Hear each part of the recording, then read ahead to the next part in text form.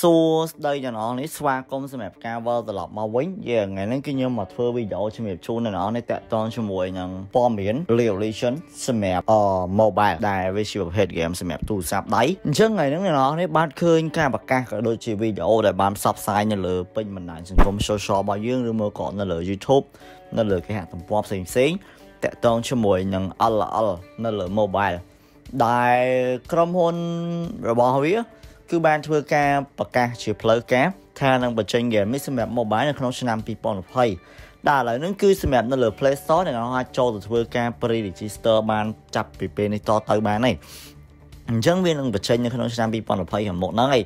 តើតើជាមួយនឹងព័ត៌មានខ្លះខ្លះហ្នឹងផងដែរគឺខ្ញុំសូមជំរាបថាហ្គេមហ្នឹងគឺខ្ញុំធ្លាប់បានប្រាប់អ្នកទាំងអស់គ្នាថា វាមានកម្រងបញ្ចេញនៅលើ mobile ជាយូរមកហើយ ដែលខ្ញុំធ្លាប់បានប្រាប់អ្នកនរគ្នាហើយអឺ team ដែល develop ទៅលើ game ហ្នឹងគឺជា team ដែលផលិតទៅលើ game អឺ PUBG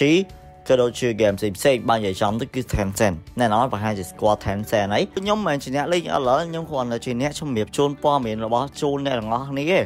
ការបញ្ចេញអបាននិយាយសួរស្ដាប់សម្រាប់ការបញ្ចេញ LL នៅលើ mobile នេះគឺជាកិច្ចអបអរមួយសម្រាប់អ congrats នៃ anniversary 10ឆ្នាំនៃការបញ្ចេញ game LL តាំងពីដើមមកហើយ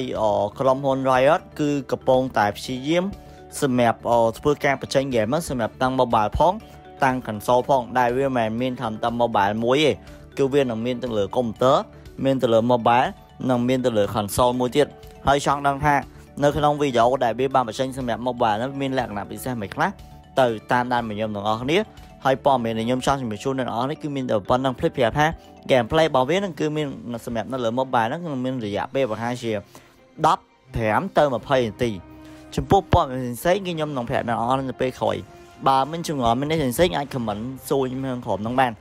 សូខ្ញុំចូលរួមអបអរផងដែរសម្រាប់អ្នកដែលរងចាំ LL សម្រាប់ mobile នេះជាយូរផងដែរទីបំផុតប្រភេទ mobile game ដែលមាននៅលើខាងលើកុំព្យូទ័រដែលដែលកំពុងតែពេញនិយមលើកុំព្យូទ័រ វាបានធ្លាក់មកដល់លើទូរស័ព្ទដៃក្នុងពេលឆាប់ឆាប់ខាងមុខហ្នឹងហើយខ្ញុំចង់សួរអ្នកនរបានត្រៀមខ្លួនហើយនៅមានចង្អុលផ្សេងៗអាចខមមិននឹងក្រុមនឹងបានខ្ញុំឆ្លើយសំណួររបស់អ្នកនរគ្នាតោះទៅតាមតាមខ្ញុំអ្នកនរគ្នា